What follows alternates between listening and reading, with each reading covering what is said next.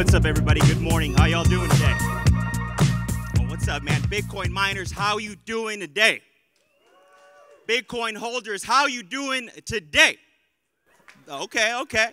My name is Alan. I'm the regional sales manager for JSBit, and welcome to Mining Disrupt 2023. See, it's crazy. I was here last year on this very stage, almost to the day. But see, JSBit was the powered by sponsor, and that was crazier. And I say this because it was at a time when things were really unknown of what was going to happen. A lot of companies were really tightening it up, hunkering down, unknown of what was to come. But not JSBit. We saw the writing on the walls. We saw the potential ahead of us. So we did what every great company had to do.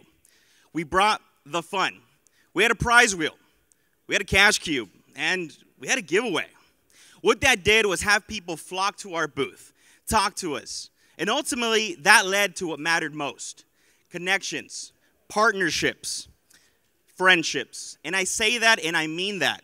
A lot of you here today, I consider friends. And I talk to a lot of you more than I do my regular friends because it's something you guys get and it's what you guys understand. But of course, I want to take this time to thank my, the Mining Disrupt crew for making all this happen. And I want to give a special shout out to Michael and Gabriel, wherever you guys are. Thank you for creating a community that can allow all of you guys to come together and nerd out on what we love most. And that's, well, that's Bitcoin. So, with that being said, when I was here on this stage last year, the title was called bear market coming. We talked about the opportunities that a bear market has and exactly how we can take advantage of them. So when I was told, Alan, you got to come up here, you got to talk again, I said, okay, what am I going to talk about? What is it going to be? So I thought long and hard. I just didn't, didn't feel right. What was I going to call it? So I went up to my colleagues and I said, help me out, guys. And again, it just didn't feel right.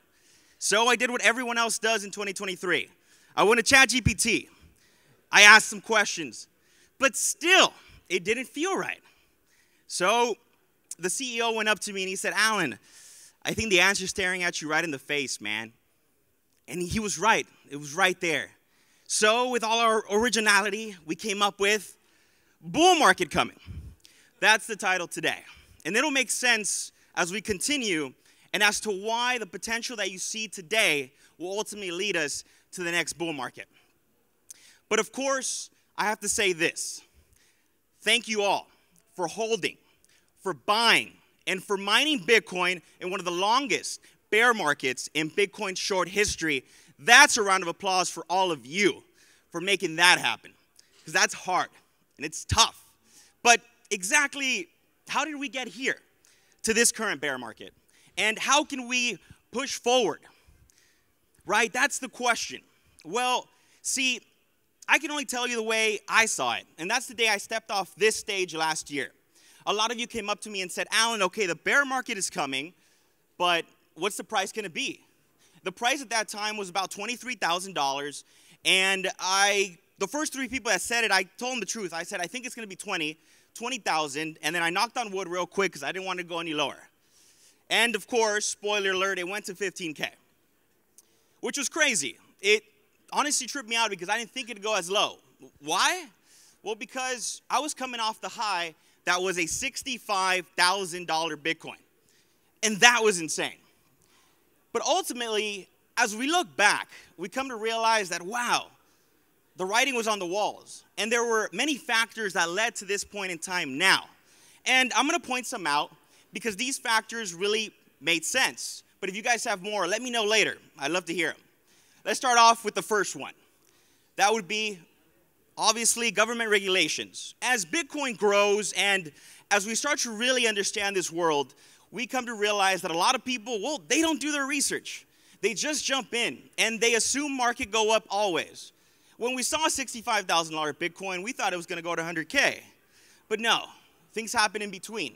And what, what, what does that do? It makes the government want to step in. And obviously, when you're trying to change the financial landscape, well, they're going to want to step in at any moment in turn, right? Especially when things are bad.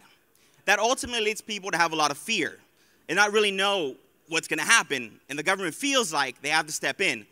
And that makes people even more fearful because they don't know what the government will do. Number two, obviously the environmental concerns. I was there, and I think you guys remember when Elon Musk said, ah, we're not accepting any more Bitcoin. Why? Because mining takes too much power. It doesn't make sense. Why would I accept it? And with that being said, I come to realize quickly that no, I think he's lying. And with people like Dennis from Satoshi Action Fund, people like Lee from Texas Blockchain Council, I'm looking at you, Virginia, I'm looking at you, South Carolina, all of these different councils that come together and taught me something, and they said this There are far more industries in this world that take more from you, that do absolutely nothing for anyone else, yet no one scrutinizes, uh, makes, makes fun of it, and says, ah, that doesn't make sense, it's hurting the environment. Yet here we are, making Bitcoin like the bad guy making it say it's taking too much energy, when in fact we know that Bitcoin can give back to the community, either with jobs or in energy when needed. And that's number two. Number three, we see the market manipulation. The market makers taking advantage of all of us. I want to point out something, and I want to talk about the exchanges.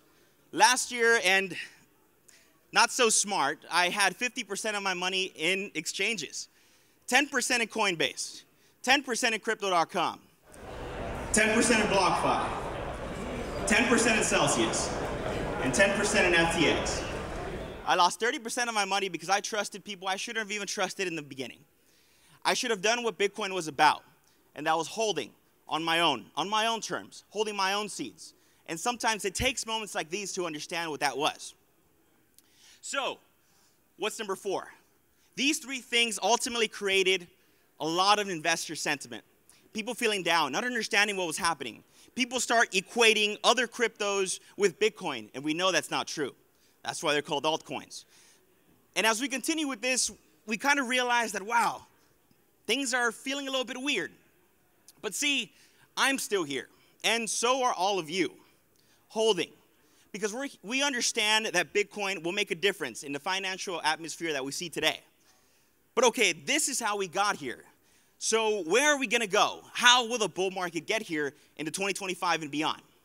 Again, there are a few factors that will lead to this. Many more to come, and I would love to hear what they are. But the first one is the big one. The constant money printing that we see in the government today is insane. When I found out that 50% of the money supply was created in the last three years, I'm like, wow. You're telling me the US government has been around for 247 years and 50% was printed in the last three? Well, of course, gas is so expensive. Food costs so much. I can't go anywhere. It's insane. No longer will savings make sense because your money no longer makes sense. That's why Bitcoin does. With that being said, we have the growth of DeFi versus CeFi. Let's start with CeFi, centralized finance. It's what you use every day. When you go to the bank, what do you do? You tell them, here's my money. And what do they do? They keep 10% legally, that's all they need to keep. 90% they can loan out to the world. They can give to them whatever they want at high interest rates. And they're so gracious to give you a percentage back. Less than 1%. And they're charging 20 something percent for the credit cards, 5 7% for loans. And that makes you realize, wow, that's crazy. And the fact that still today, if you want to send money to somebody, it's going to have to be through Zelle, which takes a few minutes, easy. But what if you want to send a large sum? Let's see we're doing business. What do you have to do? A bank wire, right? Two to three days, and hope to God he didn't do it on the weekend because now it's four days. And not only that, but it's still going from you to your bank to their bank to them. Why are there two people in the middle there? Unnecessary. This is where DeFi comes into play. This is why Bitcoin makes sense. Why I can just have contact with you, and the only thing in the middle is the blockchain. That's number two. Number three, last year, the price of an S19J Pro was $27, 110T was $27 per T. Let's go back two years before that. In 2021, the price of an S19J Pro 110 terahash was $100 per terahash. Well, my wow, that's $11,000. One year later, it was about $3,000. Today, that exact same miner is valued at roughly $14 per terahash, about $1,500, almost a tenth of the price that it was two years ago. And why is that bullish? Well, that means if you're just getting in, if you thought you were too late, it's not. The potential is still there and the opportunity grows. And as long as you've been in it and growing and making sense, you will ultimately come out on top. And as we continue, we know that the Bitcoin halving is coming. That will ultimately allow for a cut in rewards. And you might be saying, well, why is that bullish? Well, as we continue, and those who understood the patterns will upgrade their units. They will make sure they meet the needs to make it to that next halving. And yes, there, that means that we will lose some, but that's where it makes sense to, to really continue in the market and understand what's happening every single day. Because the halving can make or break people. And as long as you're ready, you will come out on top of that. So, where does Bitcoin mining come into play in all of this? Well, it makes sense because the potential that I've been talking about this entire time, why haven't you gotten in? Is it the pricing? Why will Bitcoin ultimately come out on top? Because we know that we're still so early. We've only been in about 10 years, a little bit more. And a lot of people are seeing that it's still quite profitable if you have right connections to the energy and good hardware providers. Those I can get you units at the right price so that you can continue mining and have a quicker ROI. Because we're here and we understand that Bitcoin will ultimately make it to the end. We're so early. The last Bitcoin will be mined in 2143. It's still, what is it, 2023. 120 years from now, we will still be mining. And we understand that we're so early in the industry that we can jump in now. So, we're not just here for the money. Some of us here just like the potential that is the financial freedom that Bitcoin brings. And interestingly enough, when you mine, you do something else. You secure the network. You make sure that everyone can make it when they want to send money to someone else safely, securely. It's one of the ways to be able to do it without having to deal with anyone else. And over the last year, I've had the opportunity to talk to so many of you and make them as friends. And I hope you guys can become friends after all of this. And I've asked the same question to all of them. I said, guys, what has stopped you from buying Bitcoin miners? They've all said the same three answers. First one is you're scared of the bad actors, the scammers. And last year was on, when I was on this stage, I told a story when I was on Reddit in 2018. I made a few friends. I only had a little bit of money because I was in college at the time. Not really much. I think it was under $15,000. That's a lot of money for a college kid. I was saving up for a car. I sent them the money in return of some S9s. After six weeks, they stopped responding to me. After two months, I started really hitting. Three months in, I accepted what happened and I didn't even blame myself. I blamed everyone else. I blamed Bitcoin. I said, wow, I really, this is really a place for scammers. Turns out, no. I didn't do my research like I did for Bitcoin. I didn't do my research when it came to making sure I was finding the right people. So that's why I understand when people say they're scared. Some have been bit before. But that's why understanding and really doing your research makes sense in this world, not just when you're doing research for Bitcoin itself. It's really tough these days as well to find reliable used miners. Where do you buy them? Do you go on Craigslist? You go on OfferUp? Do you go on eBay? right? It's tough these days. So that's another thing that people tell me is difficult in this world. Third, reliable logistics. If you're buying one unit, easy. If you're buying five, simple. What if you're buying 50, 100, or 500 plus? Who do you do business with? And how do you make sure the miners you buy get to you safely? So, this is where JS Bit comes in. This is what we've worked so hard over the last years to make happen. And how exactly have we made that happen? Well, we have a trusted US support team here to help you answer any questions. Most likely, you'll get me. And my goal is to make sure that you feel safe in what you're buying, understand what you're getting before you make that purchase.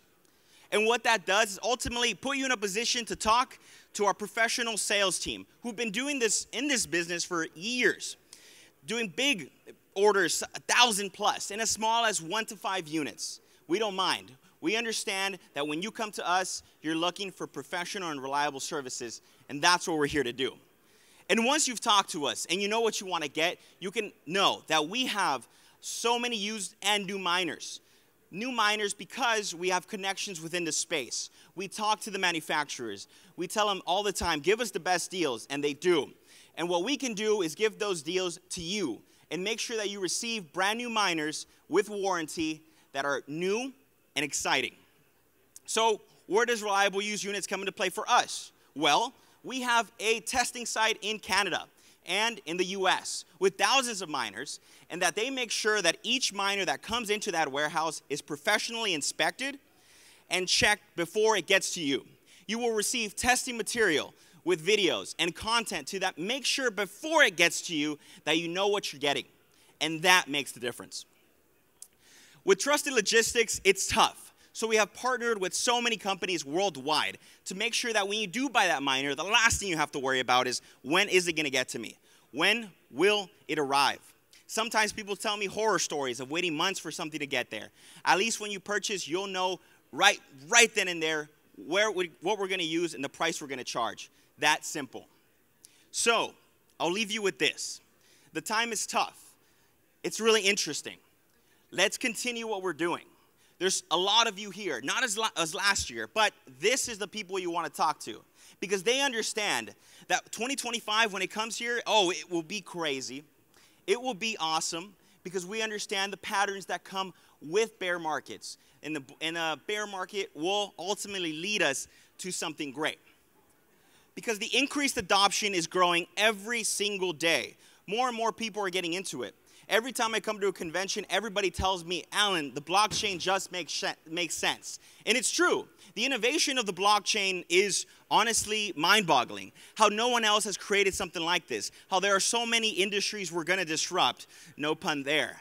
But ultimately, if you do take that opportunity, and I keep saying that word because that's what it is, you will come out on top. Because we know that 21 million Bitcoin is all that there is there's only 21 million. There can always be less, but there can never be more. Simple economics states this with a supply that goes down and a demand that grows, the price must go up, and that it will do. So get your piece and come visit our booth. We are booth 99, and I'd love to connect you guys and make you guys my friends and just talk about the stuff we love mining, Bitcoin, this world, blockchain, I don't care because it's fun, it's interesting. And while you're there, come get yourself an Antminer. We're having a giveaway. And you can actually leave this week with one. You can ship it wherever you need to to either start your farm or, I don't know, continue the one you have. Because that's what we're trying to offer. So, how can JS JSBit help you really make it through this bear market, make it into the next bull market, and come out on top where things can happen? My name is Alan. I'm the regional sales manager for JSBit, and I hope you have an incredible mining disrupt Thank you.